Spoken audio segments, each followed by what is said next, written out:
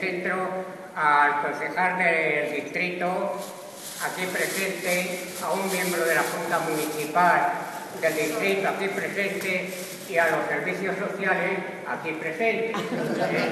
Así que los deseamos muchas gracias por habernos facilitado y felices estas fiestas, cosas que nos, han- eh, nos han, nos han beneficiado bastante. ¿eh? Oye, y a los sectores del centro.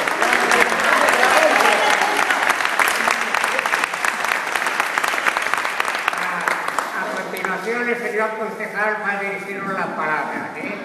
Bueno, eh, casi que quería dar las gracias soy yo, invitarme a, dar los premios de la ajedrez y, no solo dar las gracias, sino decir lo, honrado que me siento también y, bueno, lo, lo contento de que en San Blas se hagan tantísimas cosas en los centros de mayores, que haya tanta vitalidad, tanto empuje, que las juntas directivas, yo quiero darle las gracias a todos ustedes, pero también a Julio, a Miguel, que me, han, que me han invitado. Ya en la primera reunión que tuvimos me dijeron que, está invitado a venir y que yo, ya lo saben ellos, en la medida de lo posible, pues trato de, de ayudar y de hacer aquellas pequeñas cosas dentro de las limitaciones que uno tiene como concejal para mejorar un poco pues, el uso, la utilización de estos centros, las actividades que quieren ustedes realizar. Y la verdad es que hemos tenido suerte y no vamos mal. O sea, tenemos la tarima, la que me encanta, pues un, un deseo de, de- de- Que sí. bueno, pero formularon tanto Julio como Miguel por el, por el asunto de, de las, de las representaciones de teatro, que era, que era importante, nos la pintarán después para que no... Y también parece que marcha el proyecto de hacer un comedor, que parece que hay una... Carmen ahí lo ha negociado eh, duramente, como es ella, para que haya una empresa que hay que agradecerles que quieran, que quieran tener la, la- la iniciativa de lanzarse a la aventura de, con la ayuda de la cocina y demás, que eso lo tiene que poner la Junta, pero que luego ellos quieran explotar dentro de los márgenes que le marca el ayuntamiento, pues la posibilidad de que haya un comedor aquí con la calidad de cocina que ya dan en otros centros y que de verdad que, que Qué bueno. muchos de ustedes la han probado, pero cuando uno ya comer se da cuenta que no es una comida de centro de día, como es esas comidas que van más mandan aquí a la planta de arriba, sino que es una, co- una cocina española y que, tienen realmente mano para la gastronomía.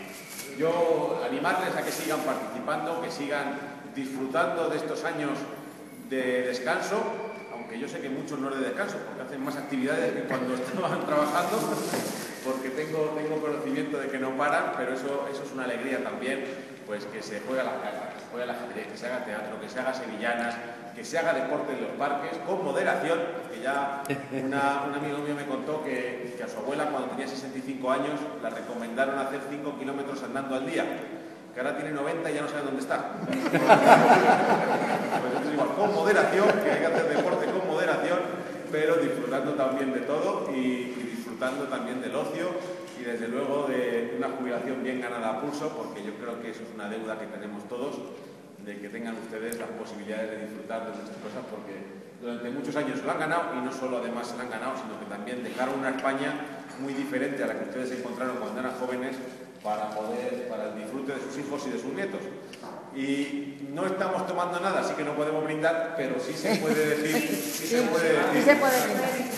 que, que tengamos todos una feliz Navidad, que pasemos unas felices fiestas Muchas y que el próximo año pues venga cargado para ustedes y para sus familiares pues de lo mejor, ¿no? Que ya salgamos de la crisis, que se empiece a funcionar, que, que marchemos. Bueno, Julio como siempre con su diligencia va a organizar para que brindemos. El presidente rápidamente. todas vuestras familias, que seáis muy felices y que tengamos salud al año que viene. Con todos vosotros.